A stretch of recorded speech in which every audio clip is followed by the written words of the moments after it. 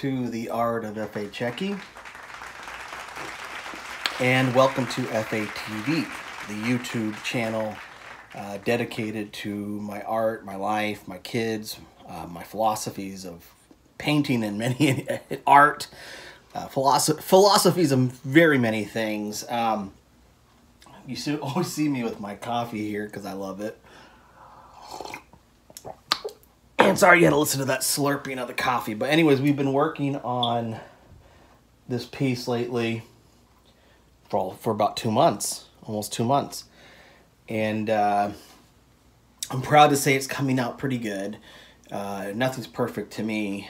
Uh, getting into the philosophies of painting, uh, you know, it's like like Da Vinci. I look up to him very much as an artist because his whole thing was like, uh, I strive. He's basically saying I strive for the moment before I die, where I can look back on one of my paintings and say it was perfect. But no, nothing could be quite perfect. But if you look at um, Da Vinci's pieces, uh, he is quite close to perfect. But anyways, uh, I want to thank y'all for watching. I want to thank y'all for subscribing. We're at 1,600 plus. We're 1,647 uh, subscribers as of this morning, which is awesome. So thank you for watching. Thank you for thank you for subscribing. But please keep watching. Please, uh, if you haven't subscribed yet, hit the button there and subscribe. Uh, fifty percent, half of all we make on monetization will go to the art. Will go to good causes like uh, endangered species, the environment, climate change. Will go to uh, the homeless, uh, the needy. We want to help others. So if you help me, I can help others I'm not a rich man, but one of the dedications of this channel is I don't want to keep half of what I'm going to make. I want to give it all away. Uh, there won't be any Lamborghinis like driving around. There won't be any fancy schmancy stuff flashing what I make on my YouTube channel like you might see on other channels. Uh, this is about being real. It's about helping people. It's about showing my art to the world. And so if you can help me, I can help many people, maybe even you. So anyway, but before we uh, start, we always uh, dedicate a little bit to Bob Ross. We light his candle as we always do. Have it right here. Light his candle. This is a nice one. This one has a uh, Tuscany eucalyptus mint.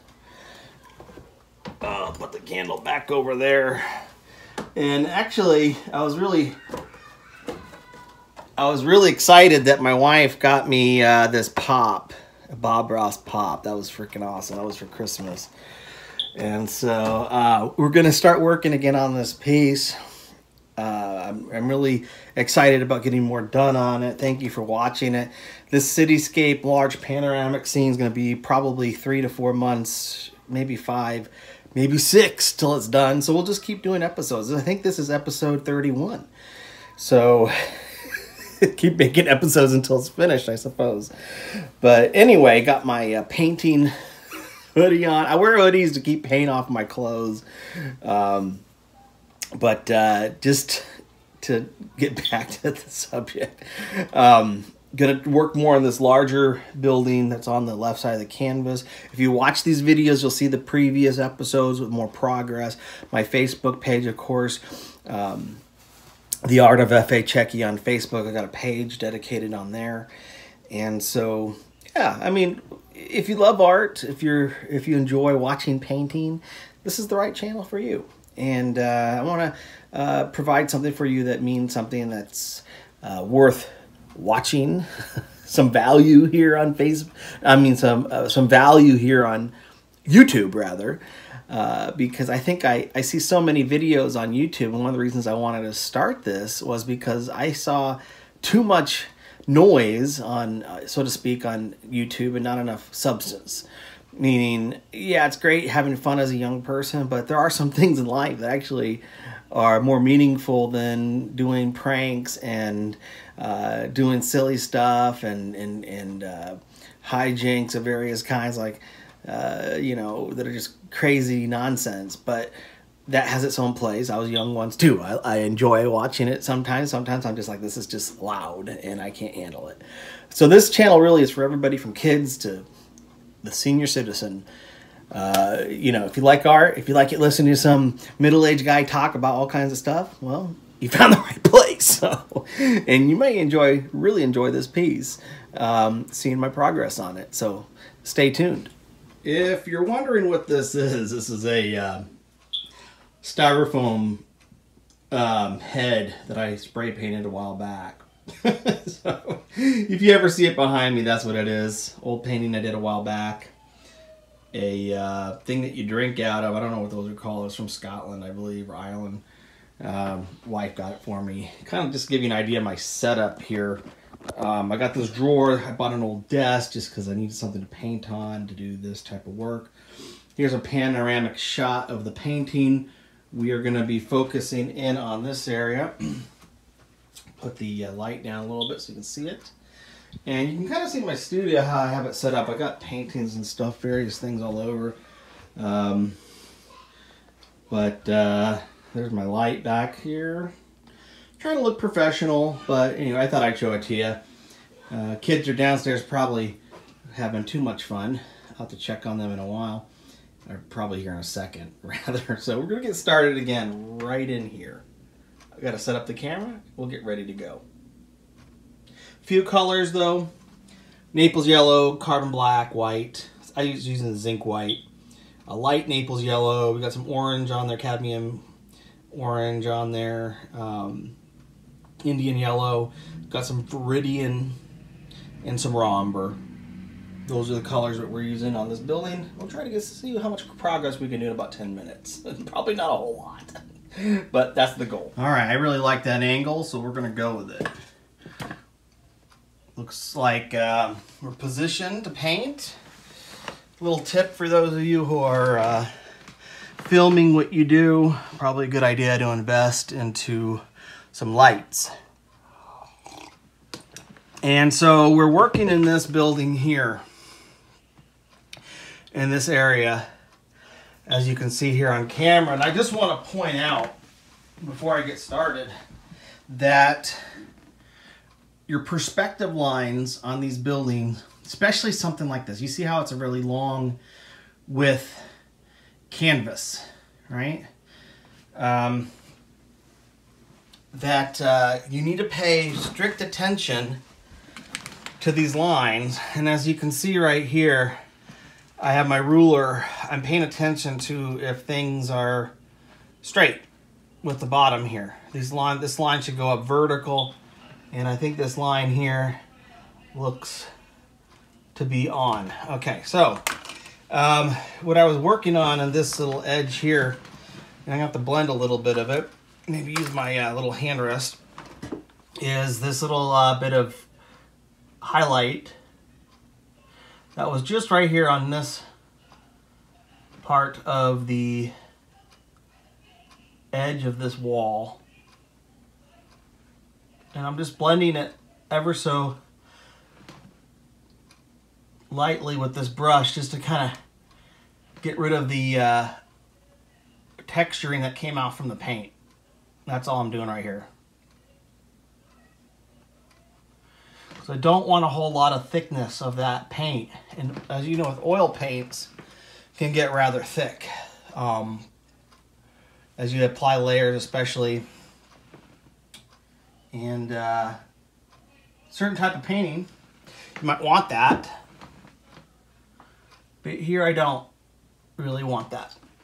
Okay? Don't want that much at all. I just want a nice clean line here and to blend that in uh, as such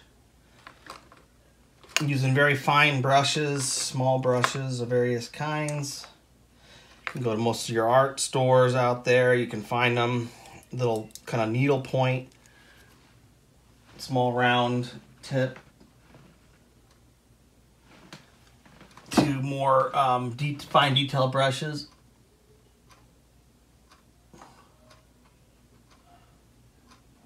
And uh, just, I don't know if this is my technique. Sometimes I like to let them harden a little bit with the paint on there so I get a sharp edge.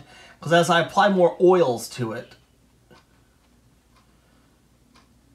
And maybe I'm uh, bad at taking care of my brushes, but as I get some more oils on it, it tends to loosen it up anyways, and then I wash them later with some mineral spirits. Okay, the edge of this building here um, is going to have a slight, very slight um, highlight to it.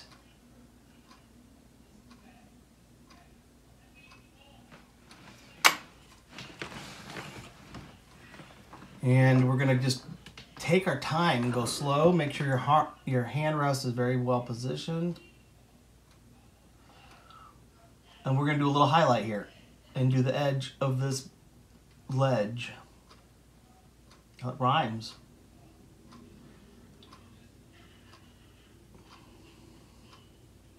Just ever softly there. Maybe wipe off a little bit of the paint. I have rags, as you can see, all around me. Oop.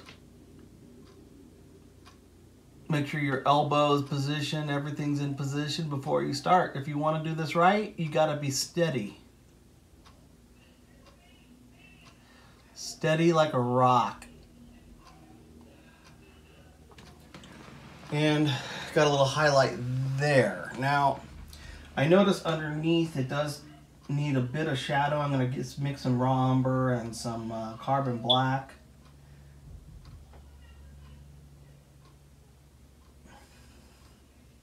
Kind of soften it with some other Naples yellow. I don't want it too dark. I need to fix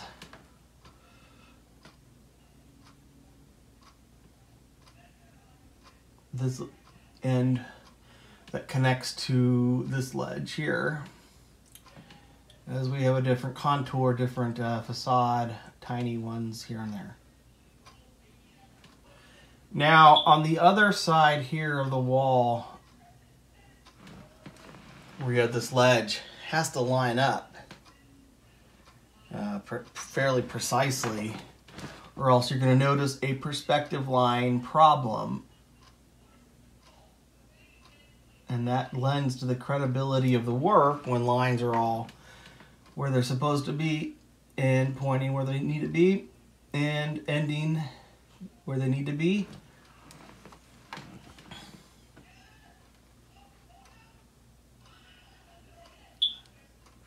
Which is nice about oils because I can do a lot of correction. Whereas with other mediums, I don't feel like I have that freedom. So,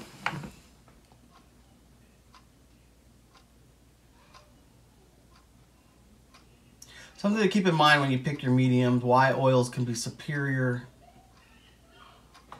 The slow dry time actually has a value to it. Unless you're doing like wet on wet painting, of course.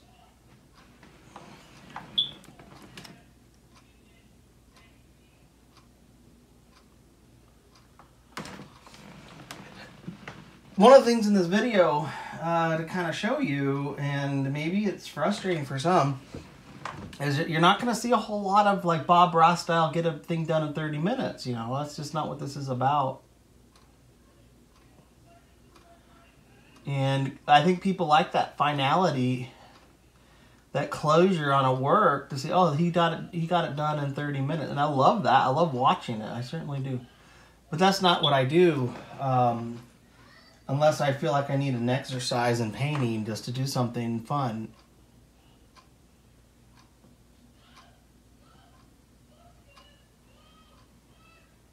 Okay, so that ledge is much more I feel where it needs to be and I'll take always a step back and look at it and correct as I need to. It is important to take a step back from your work, look at it, see if it's right. Now on this side, this is more shadowed. I'm going to mix a little blue-gray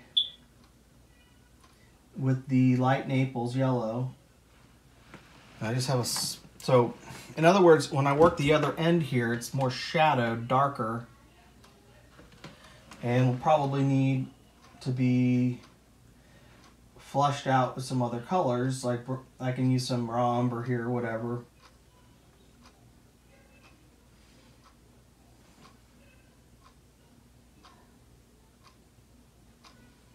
And so I mix it down, and I can see it's quite light when I apply it to a dark spot on my uh,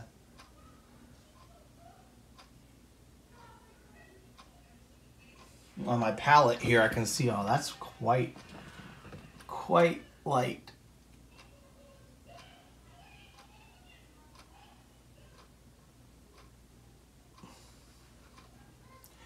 And if I can kind of see where I penciled this in earlier, it's gone.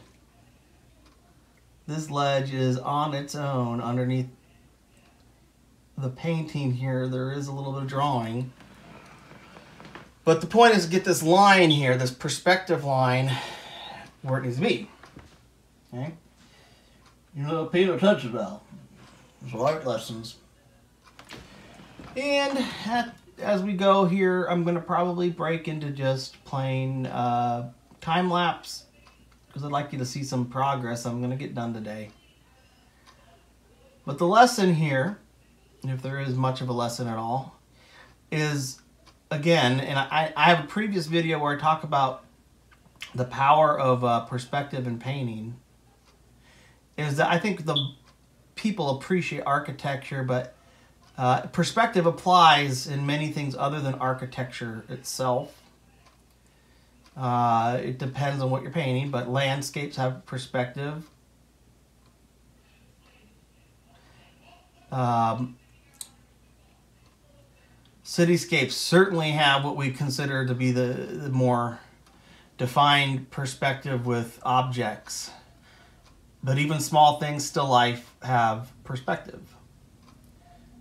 And that perspective is what uh, gives you the illusion of near and far. Okay, so we're gonna pause the video here. And you'll get to see some time lapse because we are going to go way too long otherwise.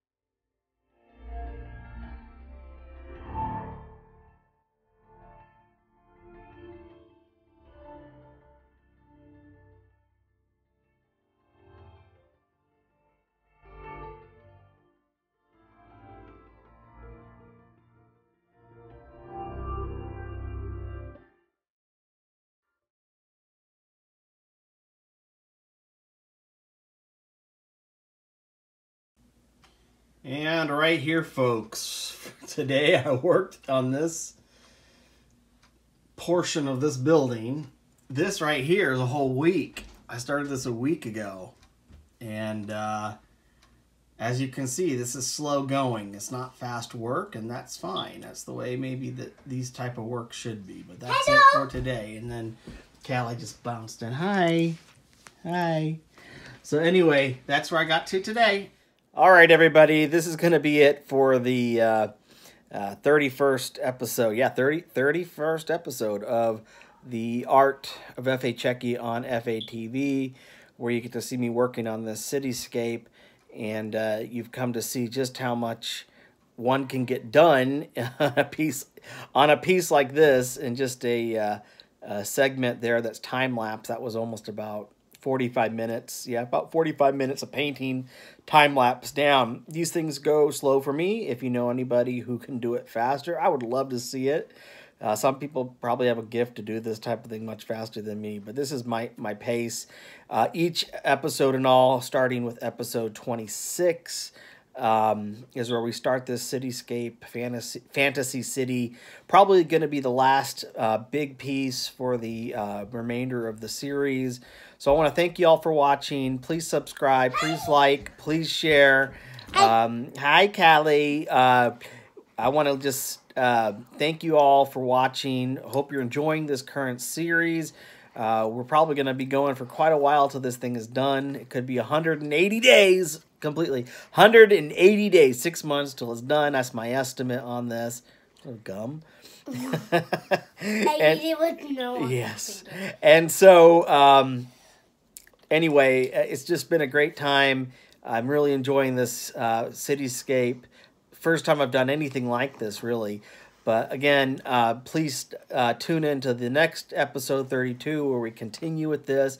But so far, we've gotten to this point, and um, Follow me. follow me, subscribe again, subscribe, hit the button, subscribe. Callie, Follow me because I'm on at four. I don't know if I'm at five because my iPad is that's what I make TikToks on. Right, her TikToks. Okay, so um, anyways, be the artist you were born to be, the person you were born to be. Follow your I'm passions. be a gymnast. Yeah, follow your passions, your dreams, because one day you might look back and wish you did it. And so, anyway, um, I think that's important. I just want to end off. I always try to end off saying that. Uh, be the artist you're born to be, the person I you were have born good to be. news. Yeah, what's that? One of my tooth grew. Oh, she's so cute. Anyway, um, I have it. until next time, so long, y'all. We'll see you later. Peace. Bye.